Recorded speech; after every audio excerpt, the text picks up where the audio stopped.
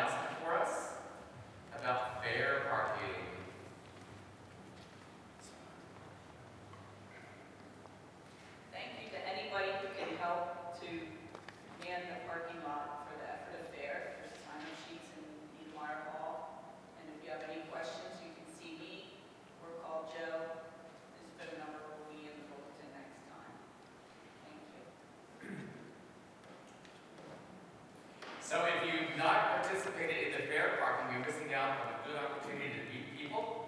Uh, it can be a lot of fun, except when it's raining. I'll just say that. Uh, they, we have two different lots, so that's why it looks, looks like we're 184 people, because we have two different lots. Um, so if you have never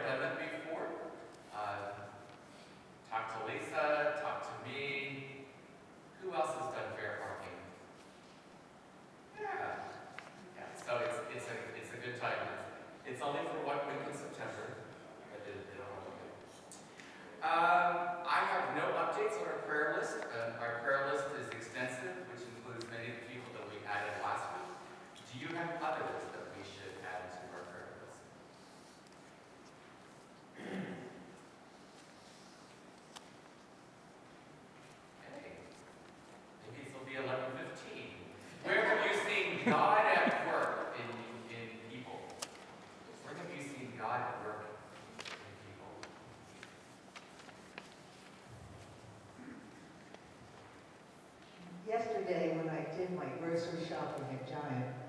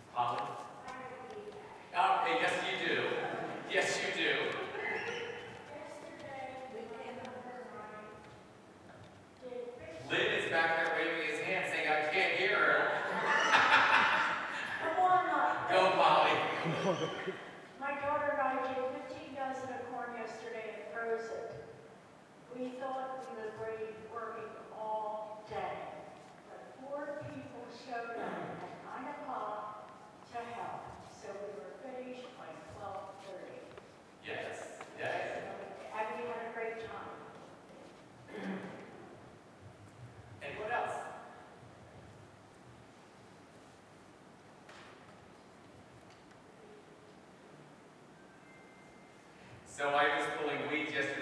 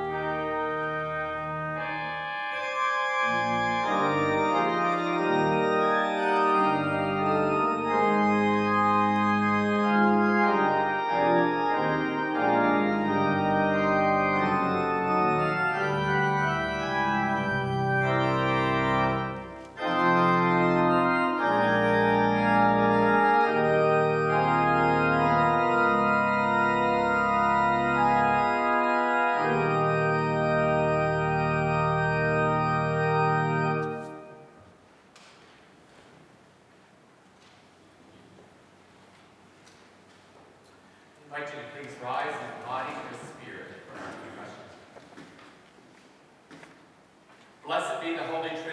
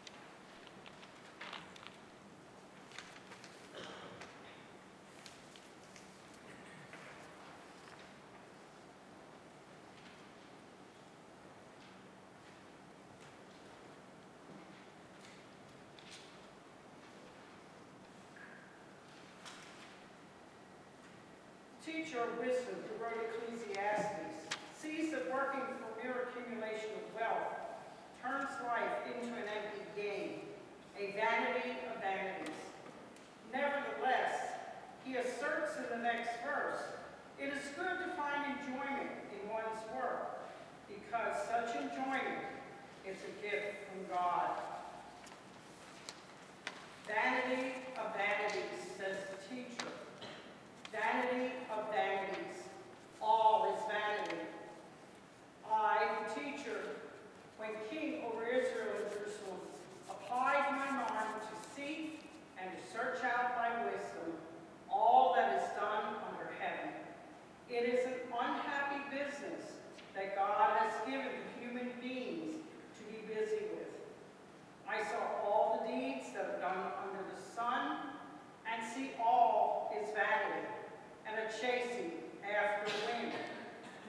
I hated all my toil in which I had toiled under the sun, seeing that I must leave it to those who come after me, and who knows whether they will be wise or foolish.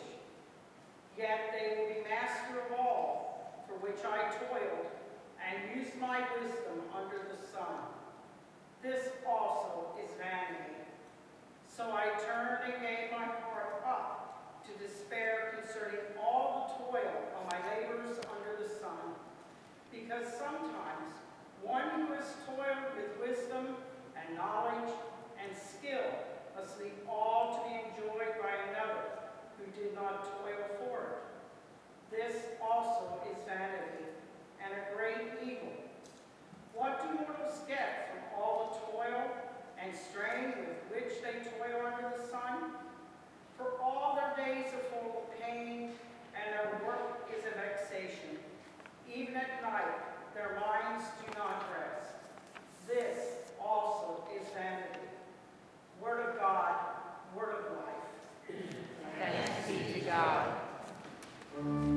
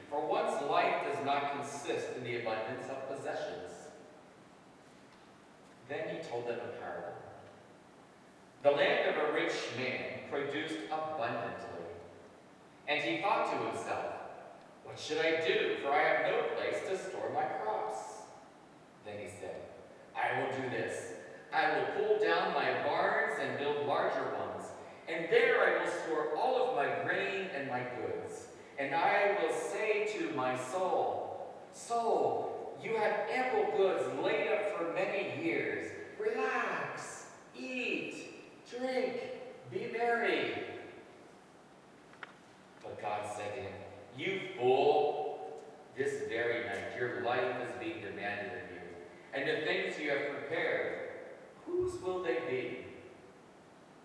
So it is with those who store up treasures for themselves, that are not, but are not rich towards God. This is the gospel of our Lord. Praise to you, O Christ.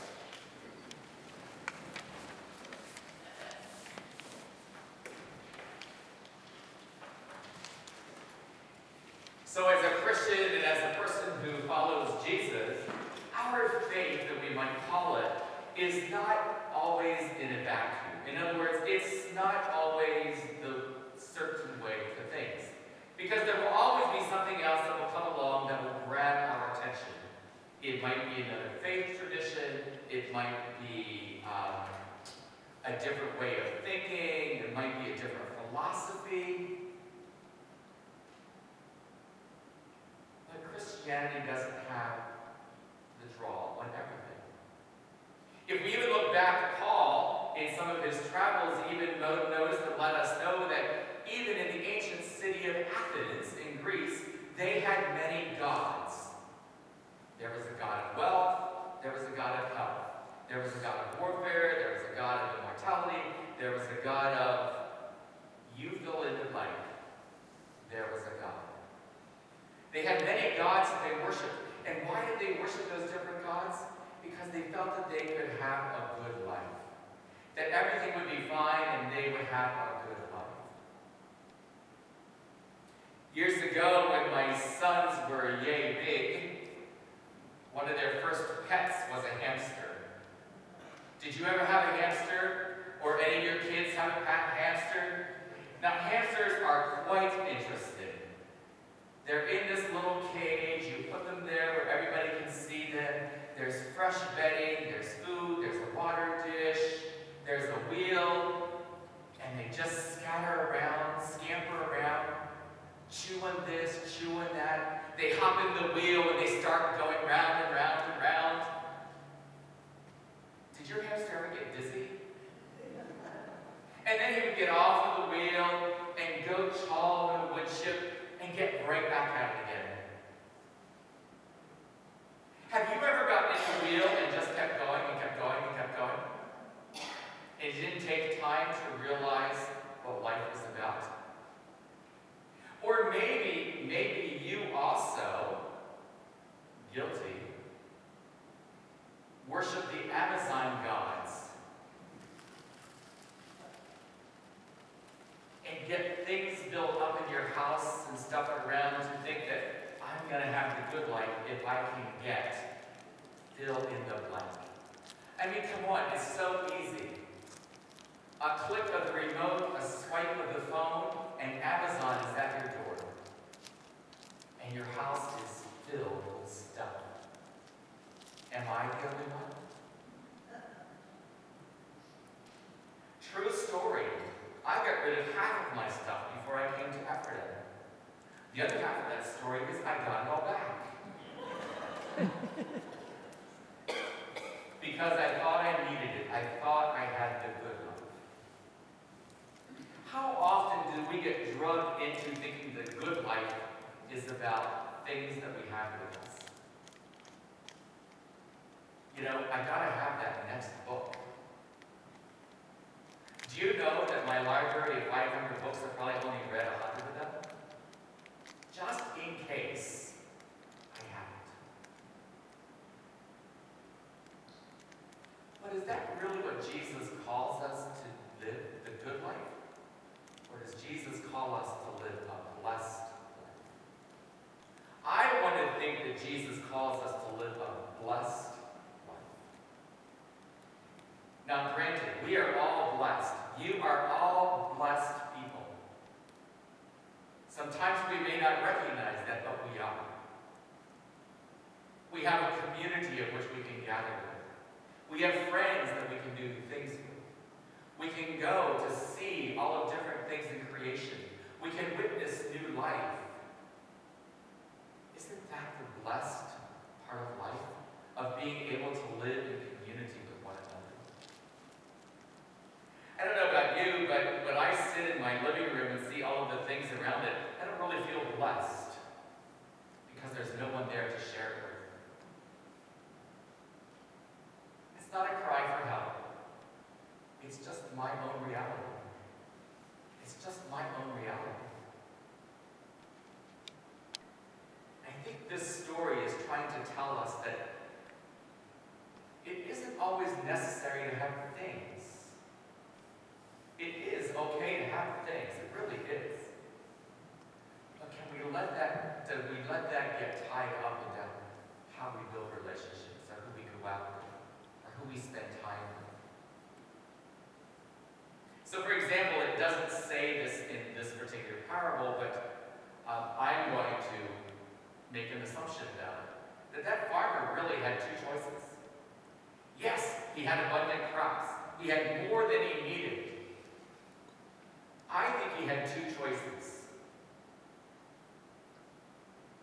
He could have given it away. He could have gone to the marketplace and just handed out his crops. Or he could build a new barn. Oh, not a new barn, a bigger barn. What did he do? He built the bigger barn. He chose not to engage with other people. He chose not to be a part of a community of which he probably didn't realize he had. He may not have realized that there were people probably in town who needed grain. But he was too busy doing his own stuff and not noticing God at work in other people around him. Just saying. I think this is also helping us to see that the idea of having stuff can, can take us away from being in relationship with one another. And maybe it's not stuff, maybe it's stuff that's up here. Any of you, have, have any of you ever changed your mind about anything? Today? I've changed my mind. I'm shooting for 11. But the point is, the things that are in our heads sometimes are the things that get in the way. They become our possessions, that we hold that way of thinking for so long, we can't see that there might be something different. That there might be a blessing that awaits us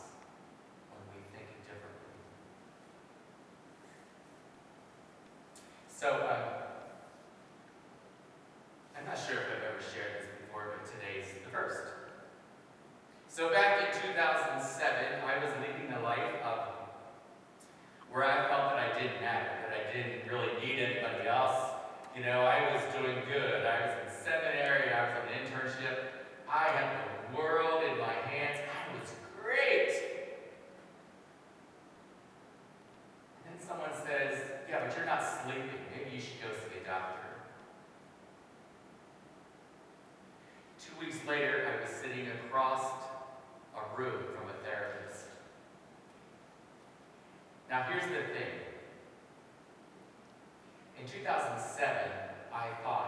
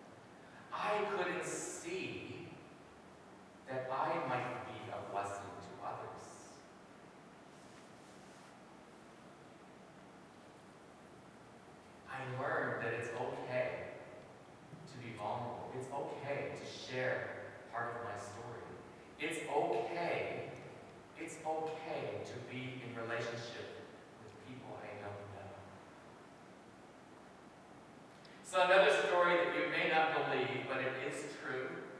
I even double checked with my mother. When I was a child, I was very shy.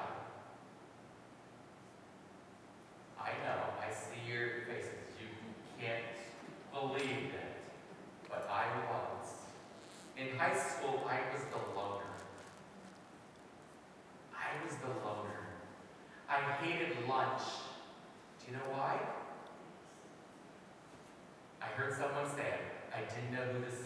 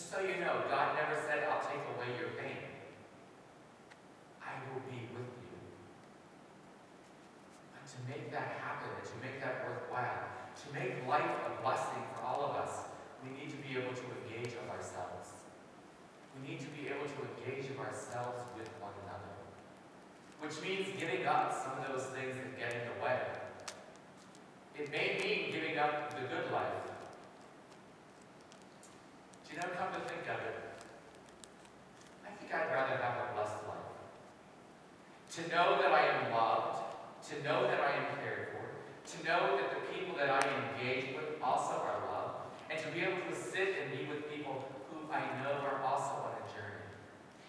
A journey of where we might be able to see that our differences, our differences make us whole. Do any of us have too much stuff?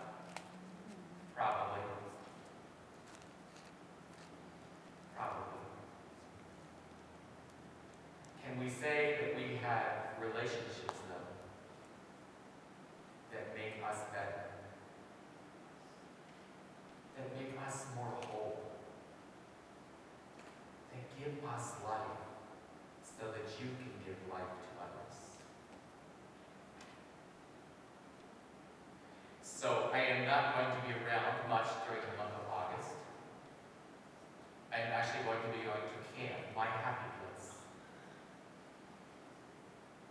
can guarantee you that during there, I will be having to leave some possessions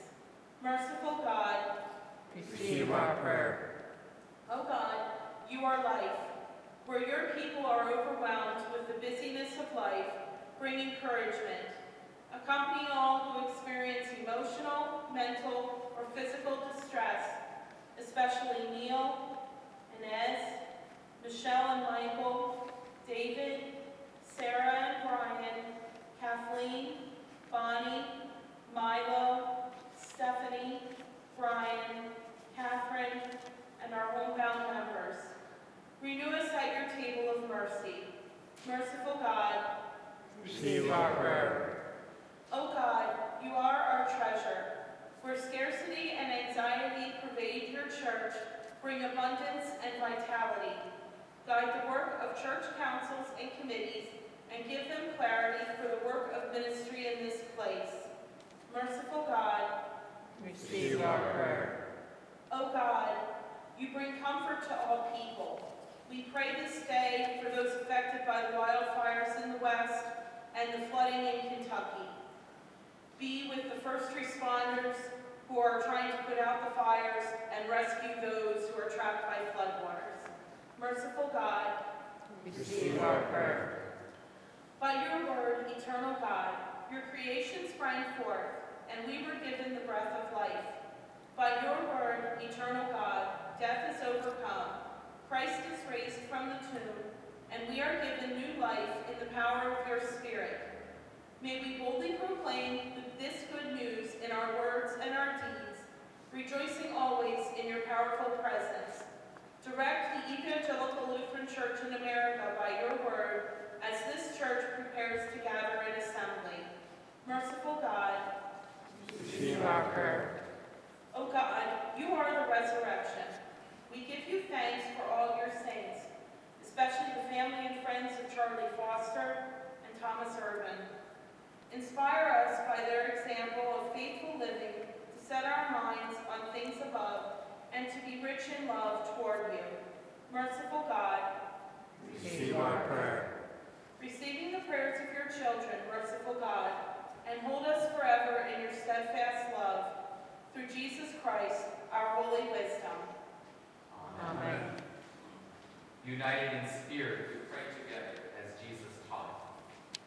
Our Father, who art in heaven, hallowed be thy name. Thy kingdom come, thy will be done, on earth as it is in heaven. Give us this day our daily bread, and forgive us our trespasses, as we forgive those who trespass against us. And lead us not into temptation, but deliver us from evil. For thine is the kingdom, and the power, and the glory, forever and ever. Amen.